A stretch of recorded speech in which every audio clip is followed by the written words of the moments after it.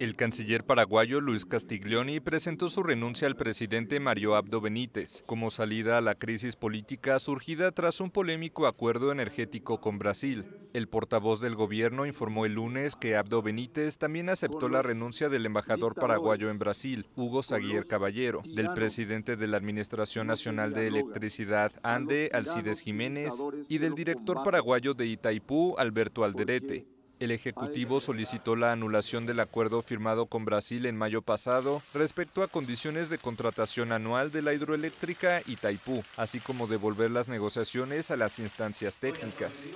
La oposición acusó al gobierno de haber negociado en secreto y en perjuicio para el país la firma del acta relacionada con la compra de energía de la hidroeléctrica paraguayo-brasileña, asentada sobre el fronterizo río Paraná.